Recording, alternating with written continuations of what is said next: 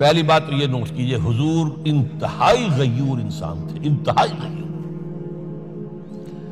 ये कहा जाता है कि अगर हुजूर घोड़े उसमें सवार होते थे ऊँट पर और आपका कोड़ा नीचे गिर गया तो आप ये किसी से नहीं कहते थे कि जरा ये मेरा कोड़ा मुझे पकड़ा देना।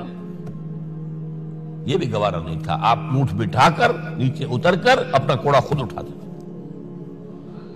किसी से अपने जाति काम के लिए कोई मदद मांगना इम्कान ही नहीं। बल्कि एक वाक्य तो वो है, जब भी मैं तस्करा करता हूँ, मेरी आँखों में आँसू आ जाते ये हिजरत के वक्त का वाक्य है। आपको मालूम है, हुजूर ने तमाम मुसलमानों को मक्के से जाने की इजाज़त दी, चले जाओ मदीने, चले जाओ मदीने, आप खुद थे मौजूद। इसलिए कि रसूल अपने मकाम को नहीं छोड़ सकता। Without express permission from Allah सुबहान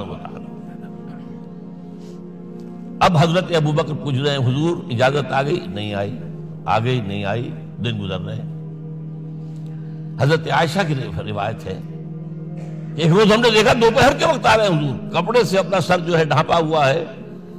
अरब में दोपहर के वक्त विज़िट करना जो है, ये उनके खिलाफ दस्तूर है, उनकी तहजीब के खिलाफ ये कैलूले का वक्त होता।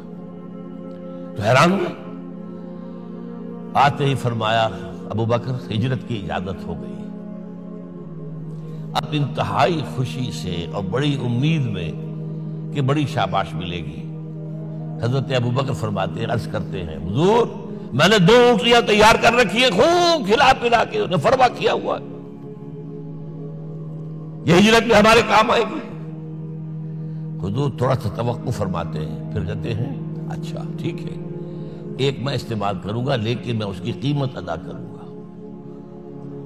हज़रत अबू बकर रो पड़े। हुजूर मुझसे यह मुबारक।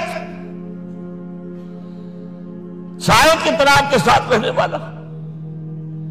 उससे यह मुबारक। जरा से इशारे पर अपनी कमसिन बेटी पेश कर दी निकाह के अंदर। उससे यह मुबारक। रो पड़े।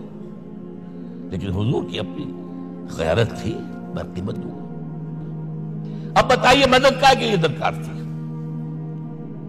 मदद थी उनके मिशन के लिए। मिशन दो हिस्सों में था। इसको जानिए आज? कुछ इल्मी बातें आ रही हैं। हुजूर के मिशन के दो हिस्से, एक इब्तदाई, जो तमाम अंबिया और रसूल का था। एक तकमीली, जो सिर्फ़ मोहम्मद का सल्लल्लाहु अलैहि वसल्लम। इब्तदाई क्या है? अल्लाह की तरफ़ दावत, तबलीग।